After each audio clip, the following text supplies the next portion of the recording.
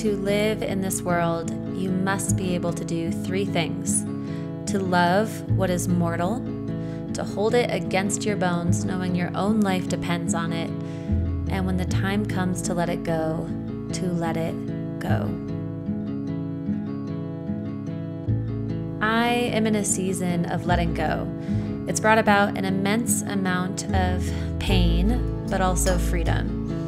I'm still in the process of untangling my heart, so the relief of it all still feels far off, but I know I have to do this. There is change coming that some of you are not going to like, which makes it all the more imperative to share. We have this strange notion that holding on is always the noble, strong, admirable thing to do.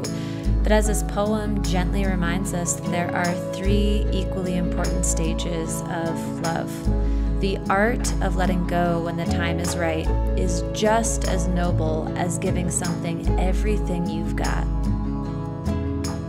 Today, I need to share with you three things that I need to let go of. I consider this a great act of love despite others' disapproval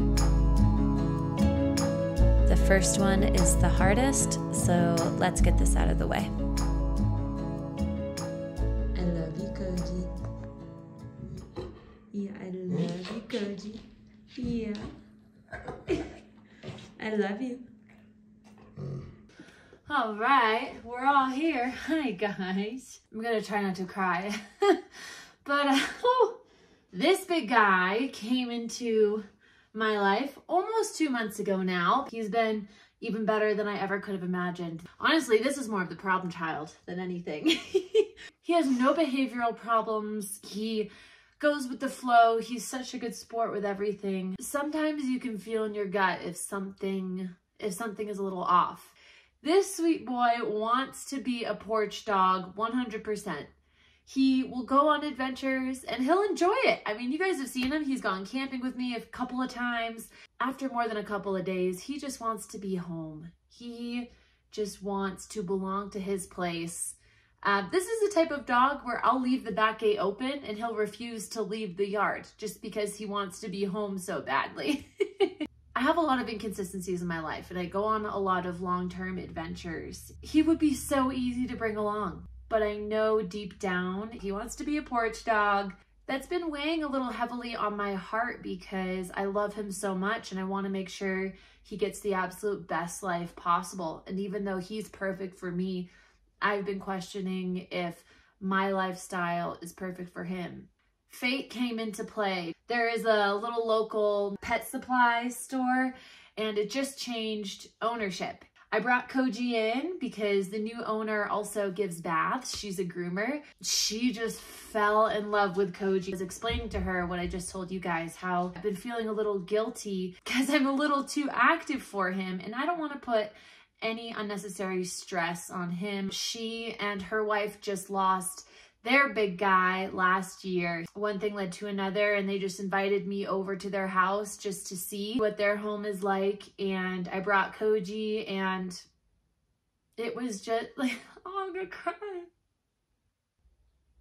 It was just perfect. They have this beautiful house in the mountains with this giant, giant porch. They sit out and have coffee together as a family for a couple hours in the morning. Koji would just be able to lay on that porch. He would have a whole family where someone would always be home and he'd be able to be the porch dog that he wants. They also have an RV, but they'll only go on trips for four or five days at a time, not four or five weeks. And that aligns more with what Koji really wants. That whole thing just being so serendipitous. He'll be just in the next town over. So Rio and I will still be able to get to see him.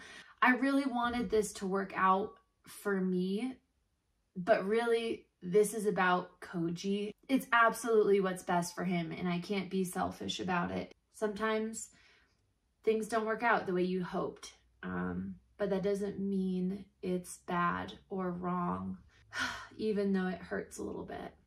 Ugh, why is this so hard? It's an extremely happy day for Koji. A sad day for my little heart. I love too hard sometimes. I need to stop being sad. I hope I don't let any of you guys down um, because I know a lot of you guys love Koji almost as much as I do. It's kind of like the best of everything. Koji gets to have the lazy boy lifestyle that he deserves and wants while also still being able to have me and Rio an even bigger family. He's gonna be so spoiled. Let the adventure continue, huh, Koji? Are you excited, big guy? Hey, come on, we're gonna load up. Yeah. You excited, big guy? Oh, look at that happy boy.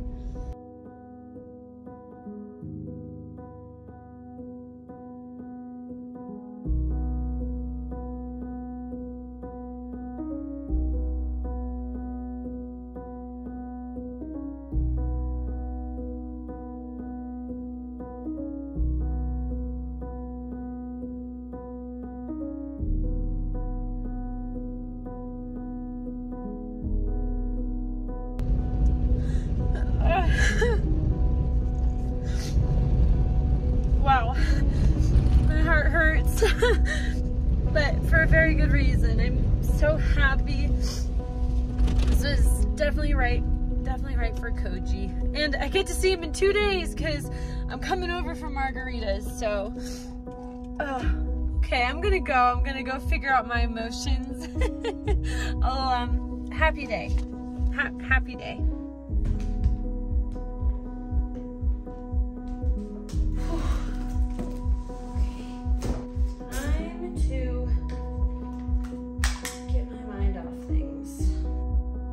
I'm not saying that fighting for something you believe in or waiting in hopes that something will prevail is a bad thing. I think we all dream of a love that will choose us with such conviction that it will fight for us.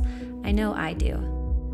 All I'm saying is that in my life right now, I need this reminder about the importance and nobility of letting go. I am an exceptionally stubborn and passionate person, which can sometimes be a good thing, but it can also be a hindrance.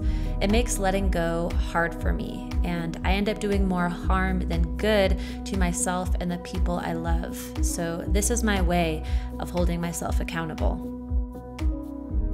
So, in the name of letting go, I am canceling my upcoming group trip to Alaska. I'm still taking the matriarch of my family, my grandma, to Alaska to fulfill her lifelong dream. But with the personal changes in my life, I just don't have the capacity to fully show up for a group of people, and I need to honor that.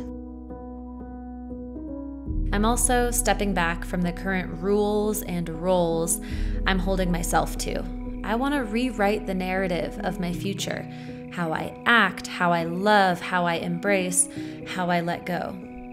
What will this look like? I suppose only time will tell.